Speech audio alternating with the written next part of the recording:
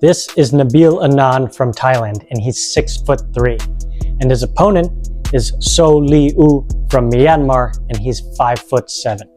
And at one Friday Fights 81 in September, they are going to clash. In this video, I'm going to tell you what's going to happen. First, I'm going to go into their backgrounds when they came to one championship, and then we'll talk about their strengths. And finally, I will tell you which one I think is going to emerge victorious in this fight. Let's get into it. Let's start with Soe Lin Oo. This Burmese fighter is also known as the man of steel because he can really absorb his opponent's hits.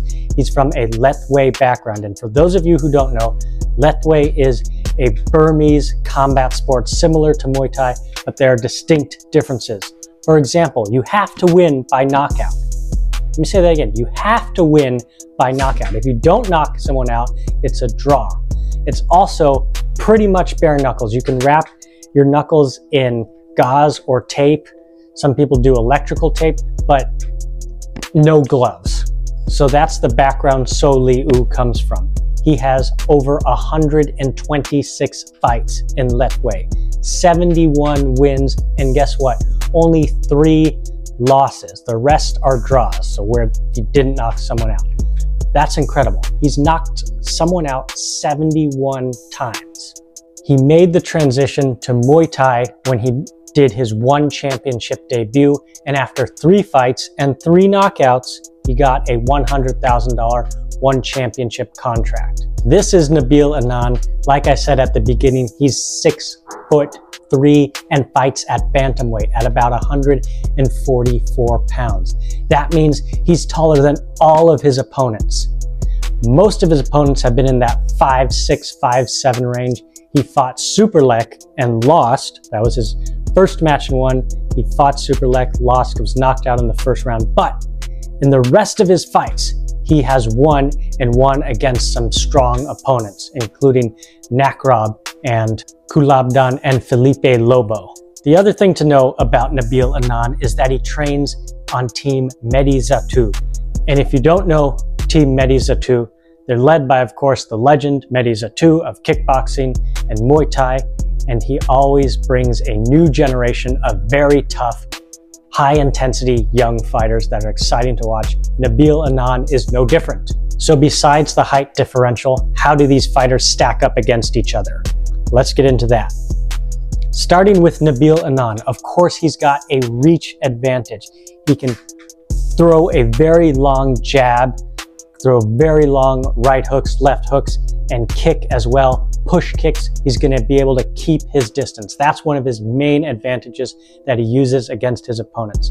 But the other thing is his elbows and knees. His elbows, he throws them like ordinary fighters or bantamweight fighters throw punches. Super long elbows can be used as fists, same with their knees. In his fight against Kulabdam, he was able to get a lot of clinch work done, throwing knees, throwing elbows, and eventually get that knockout. In his fight against Soe Lin Oo, Anane is going to need to keep the distance, but when Soe Lin Oo inevitably closes that distance and comes in closer, Anane will have to do what he did with Kulabdam and Felipe Lobo, grab the back of the head, go for that knee, throw those elbows, and then come back out, long range punches, long range kicks, continually do damage. I think what Nabil needs to do is actually just frustrate his opponent, use his range, come in close when he needs to, then get back out and again, use that range and score points. He doesn't need to get too many significant strikes. He just needs to make sure his opponent can't come in and deliver his own significant strikes. So to me, the keys to victory for Nabil Anane are going to be that distance, but also clinch work, elbows and knees to the head and make sure that he frustrates his opponent. All right, what about Soe Lin Oo? How can he beat this super tall fighter who he has to look up to, throw punches up high to?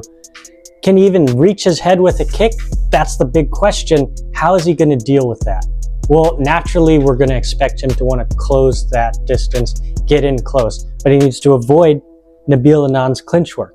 So throw the significant strikes, throw really hard punches. Don't go for high volume.